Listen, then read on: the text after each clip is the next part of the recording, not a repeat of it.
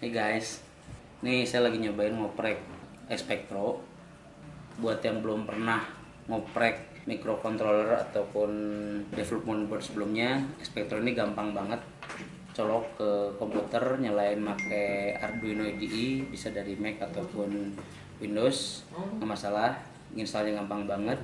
Kalau kita udah mulai ngoprek-ngoprek dari mulai nyalain LED, lalu nyalain RGB itu hanya dengan sekitar 5 baris code yang simple banget atau kalau belum belum belajar pakai sampel code dulu aja yang ada.